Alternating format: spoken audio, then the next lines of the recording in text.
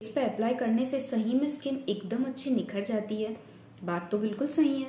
पर कई बार कुछ लोगों को उपटन अप्लाई करने के बाद में ऐसा लगता है कि स्किन और ड्राई हो गई, या फिर स्किन पे और ज़्यादा दाग धब्बे आ गए। इसका कारण क्या है पता है? आपका स्किन टाइप देखिए, हमें उपटन के इनिशियल दो इंग्रेडिएंट्स के बारे में जानना है, जो है बेसन और हल्दी।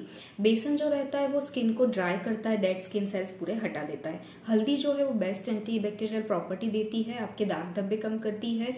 कहीं पे भी आपको झाइयाँ वगैरह है पिंपल्स के दाग हैं, वो कम करते हैं। पर उपटन किन लोगों के लिए बहुत अच्छा है जिनकी स्किन बहुत ऑयली है और एक्ने हो रहे हैं तो वो लोग किस तरीके से उपटन यूज़ करेंगे? बेसन हल्दी और गुलाब जल के साथ में यूज़ करेंगे। जिन लोगों की स्किन एकदम ड्राई है आ, काली भी है और उस पर दाग धब्बे भी हैं वो लोग किस तरीके से उपटन यूज़ करेंगे?